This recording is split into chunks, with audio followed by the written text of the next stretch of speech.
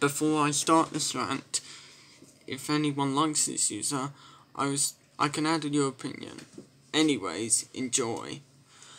You and Mike Tillington. Oh my god, this user sucks big time. Here's why you shouldn't be friends with this user. 1. Uh, he started hating me in his opinion change video. 2. He, um, he, st- he swore. 3. He changes my words to opposites. And 4. He ranted on me.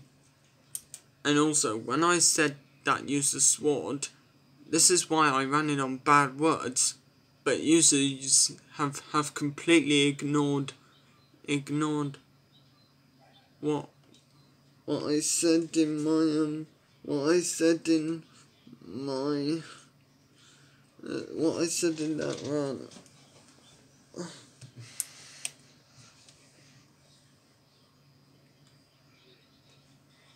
I hope this user get I hope this user gets terminated soon. Do you know who likes this user?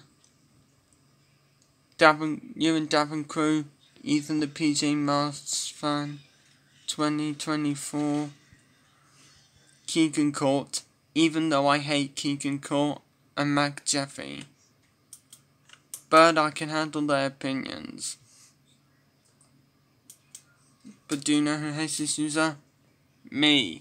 I really hate this user because he swore, he he hated me, and I, and he ran it on me.